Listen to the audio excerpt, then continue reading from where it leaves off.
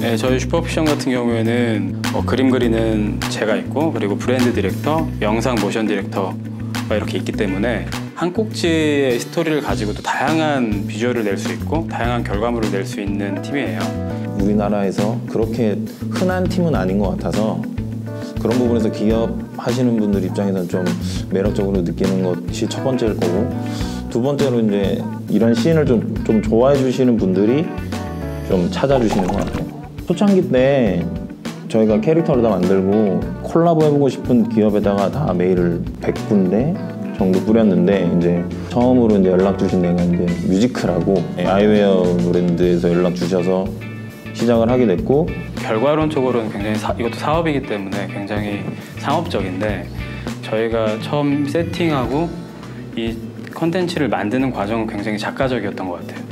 그게 저는 굉장히 유효한 부분이 아닌가라고 생각을 하는 게 저희는 오롯이 그냥 저희가 좋아하는 거를 통해서 좀 결과를 잘 내고 싶은 욕심이 일단 1번이었기 때문에 자연스럽게 결과가 저희가 생각하는 것 이상으로 잘 나왔던 것 같고 그게 그거를 클라이언트 분들도 알아봐 주시는 것 같다는 생각을 가끔씩 할 때가 있어요.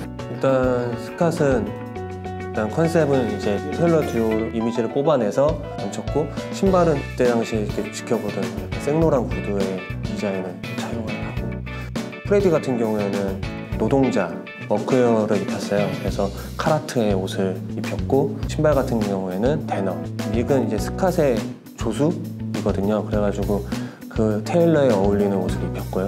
잭슨 같은 경우에는 subculture의 문화를 보여주고 싶은 마음이 있기 때문에 슈프림 옷에 막 조던을 신긴 저희가 보여주고 싶은 문화와 성격에 맞게 캐릭터에 대한 스타일을 얹힌 것 같아요. 아무래도 3D는 호환성이 중요하기 때문에 윈도우 쪽 계열의 운용 체제를 써야 돼요. 아무래도 필연적으로 renderer 같은 경우에는 윈도우 쪽에서 제일 많이 돌아가기도 하고 작업실에서 작업할 때는 데스크탑으로 작업을 하지만 카페 같은 데서 작업할 때는 서피스북 2로 작업을 하는 경우가 많죠. 저희 같은 경우에는 영상을 만들 때 콘티를 그려야 되는 경우가 많기 때문에 펜이랑 다이얼들을 같이 조합해서 쓰면 콘티도 되게 좀 빠르게 빠르게 그릴 수 있는 아 얘는 느낌 있어.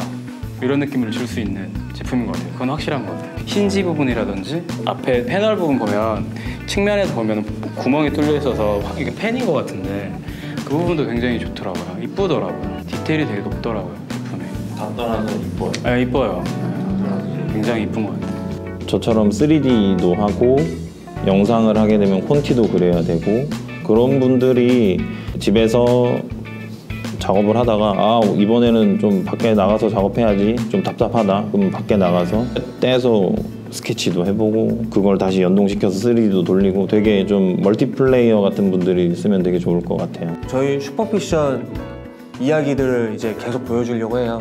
client job이 아닌 저희 슈퍼픽션만의 이야기를 꾸준히 보여주려고 하고 국내 작업도 하지만 해외 작업도 이제 협업으로 꾸준히 진행하려고 하니까 그거는 뭐 내년 이번 년 내년에 뭐 하나둘씩 이렇게 나올 것 같으니까 그거 한번 저희도 기대하고 있는 바긴 해요. 네. 곧 하반기에 프레디 영상이 아마 나오지 않을까.